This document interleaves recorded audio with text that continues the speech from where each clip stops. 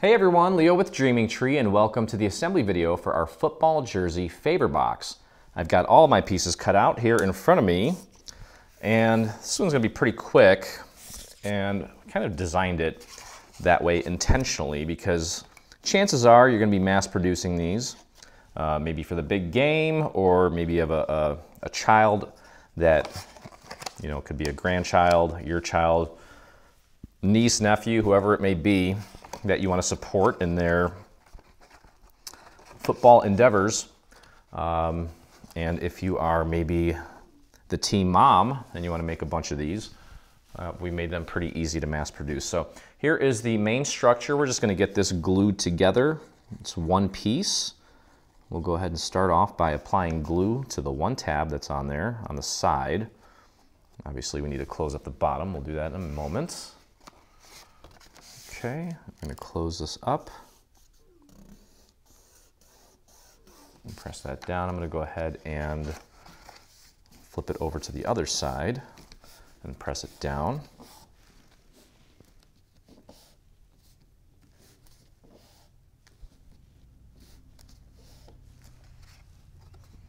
Okay, so that's what the box is going to look like.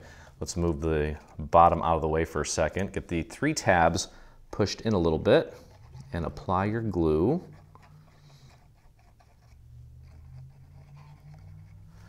And I did do a little bit of inking on the jersey. Uh, there's really no sense in inking the main structure because most of it's going to be hidden away anyway. Okay, so we'll go ahead and close this up now. Focus on getting this lined up with the side opposite of where it's already hinged. Get it out all the way to the edge, nice and centered. Press that down and then make sure that the two sides line up nicely. You can put that down on your surface. Grab yourself a dowel or something and push down on the rest of the surface of that tab. Make sure it's making good contact. There we go. Check your sides there, make sure everything is sitting nice. Okay, then you can take a little bit of glue and just apply it right in the middle there on the bottom. And then take this piece, this is your little liner, just drop it right in there and then press that down. I'm using a little tab or a little dowel, I should say. Okay, so there it is. You can see that's the front, that's the back. Now let's put the jersey together. Okay, so here's the front. You can tell by how the neck looks, and that's the back. So what we're going to do here for our back, we have this piece. It's going to go on right here. And we did that to um, kind of give it a little bit of dimension. And then you can also put the name here. Now we didn't include any uh, we didn't include any letters. That would be a little bit too much, but you're welcome to um, use your cutting machine to cut out letters if you want to customize it even further. We're not going to take it to that level. We're just going to do the numbers. Okay, so just line that up like that. I did ink this with a little bit of a darker blue. Tried to find the closest resemblance of what the Chicago Bears colors would be. Okay, and this is what I came up with. Of course, they have different variations of their jersey as well. So, and then of course we have this little piece. Now we're going to talk about the striping in just a moment. Uh, I tried to give you guys as much creative freedom as possible when it comes to the stripes, because I know that every jersey and every, every jersey variation has all sorts of different striping on it. Let's just do the front real quick, okay? This is gonna go on first right here for the neck. So let's go ahead and get our glue on here. Okay, and I'm gonna thin that out because I went a little heavy in some spots and I don't want that leaking onto my dark, my dark, dark blue here. Okay, so line that up, kind of using the, the neck as my initial guide here, using my fingers to feel and make sure that it is lined up correctly. There we go, press that down. Okay, and then we have a, another overlay that's going to go over the center. So this white up here, uh, typically on a jersey, you would possibly see some numbers up on top.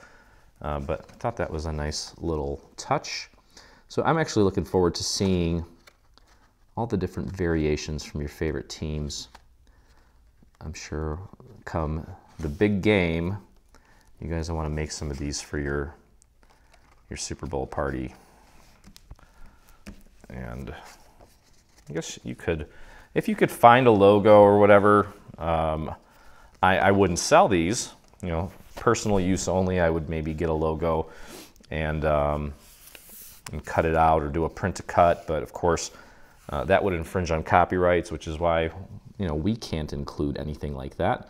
We don't own the license, or we don't have a license for it. Um, so anyway, I'm just getting the numbers uh, in place here. You'll notice in your extras folder that you have numbers 0 through 9. Okay, and you can cut out just one number or you can do two. And a little tidbit here. Number 34 is the late great Walter Payton of the Chicago Bears, their running back. And uh, if you hadn't guessed by now, my little buddy Peyton is actually named after him. He was one of the hardest working guys in football, and well, everybody knows him because of his work ethic, and I'm hoping that I can instill that in my, my little baby. Okay, so let's talk about the stripes real quick here. Okay, so in your when you when you cut this out, you'll notice that you have four of these, and we didn't really give you an option. You're gonna get both sizes. We figured it's just this much extra paper, so it's not a big deal. You're gonna cut it anyway. Okay, and you'll notice that these are a little bit thicker than these. This is if you wanna go three stripes. This is if you wanna go two stripes, okay? So I'm doing three stripes in, in my case, but I'll show you how this all works. Now, if you take a look here, you'll notice that one side kind of has a point and one side is smooth, okay? So the point is gonna go, it's gonna point in and the smooth side is gonna go on the outside of the arm. Okay, so it's gonna go like that. And the same is true with the thinner one with the two for the two stripes, okay? That's gonna go right here, except that's gonna go all the way at the bottom, okay? And then if you're doing one stripe, this little guy, let me make sure I get the right one here. Uh, keep grabbing the wrong one. The stripe is going to go on top. So you've got white and then your color if you're doing two stripes. But I'm doing three, so I'm going to get rid of this. And mine's going to go like this. And then the stripe is going to go in the center. Okay, and of course, again, the point, there's a point on the stripe and that's going to go right in the center like that. Okay, so we're doing three stripes on this one. So let me get these in place here. So again, one side is going to be rounded, the other side is going to have a little stripe. I'm sorry, a, a point. It's going to be pointed. Okay, so that's kind of what you want it to look like. So there's my point. That one's going to go on that side. grab another one with a point. Uh, yeah, no. There we go. And there we go. And we just need to make sure we match these up correctly. There we go. Okay. So it's pretty straightforward. Uh, this one is actually, I think, even easier to put together than the basketball jersey. And this is fun. Um, you know, I I thought for a long time, I was like, I don't want to make football stuff because my, my audience is mostly women, but you know what? There's so many. I mean, in the US especially, football is such a big thing. The Super Bowl is such a big thing, and wouldn't that be cool to make hubby a cool little, especially if your team's in the Super Bowl or even the playoffs. Playoffs are coming up pretty soon. Just to make them something, give them a little gift, be like, whoa, that's cool they'll like that. And I'm even thinking about doing some promotions here uh, with these. Okay, so moving on here, again, the pointy part is going to go to the right. Uh, it's pointing this way on that side, and then it's pointing this way on this side. And you can put the numbers on the front and back if you want. I'm demonstrating it here with just the numbers on the front. Okay, and that's going to go there. So it's very, very, very simple. Okay, so let's put some glue on these pieces now. And we'll get these all in place before we put them on the main structure. Just make sure you get that lined up as accurately as you can. Whoop, I dropped one. Probably the manliest project we've ever made. and I hope that, I hope that people love these. It is America's sport. I think baseball maybe used to be, but I'm not so sure anymore. My White Sox are horrible. I'm actually a big fan. Uh, you know, in the Midwest here in Chicago, there's a huge Bears-Packers rivalry.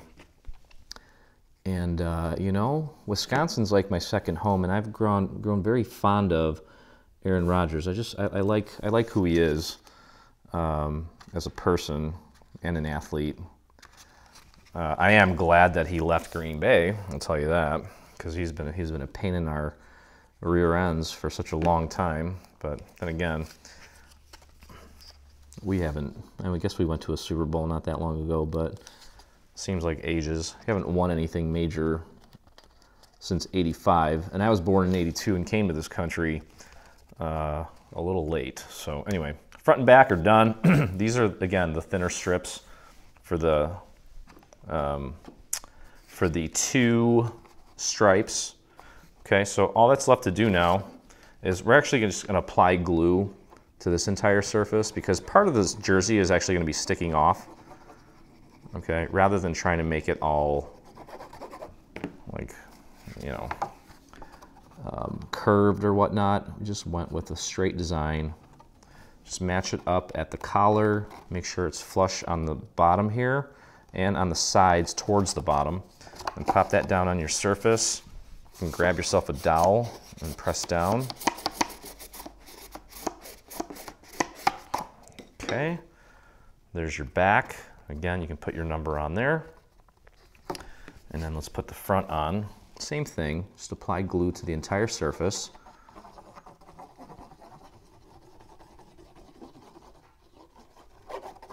Just like that. Match up the collar. Get that matched up first.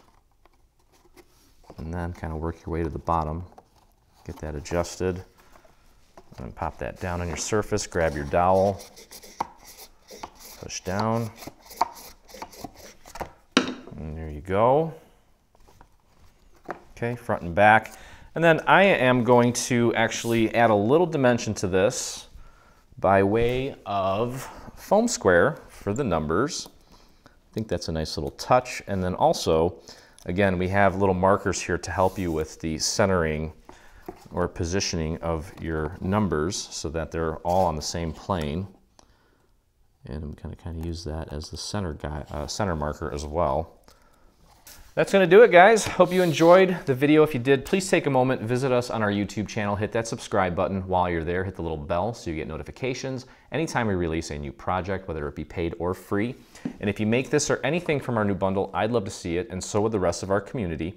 So head over to your Facebook and do a search for Dreaming Tree Official. That's where you'll find myself and over 45,000 other dreamers that inspire us daily. So hope you had a blast. And as always, I look forward to crafting with you again. Hey, thanks for crafting along with me. I hope you enjoyed this video. If you did, check out some of our other videos and please consider hitting that subscribe button. Also, don't forget to visit our site and check out our free SVG section where you'll find over 140 free SVG files complete with assembly tutorials. I'll see you in the craft room.